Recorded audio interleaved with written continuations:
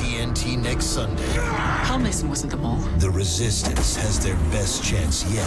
The outcome of the war depends on the completion and deployment of that weapon. But a turn in the road could change everything. If you're gonna shoot me, you better have the guts to look me in the eye when you do it. Falling Skies, all new next Sunday at 10, only on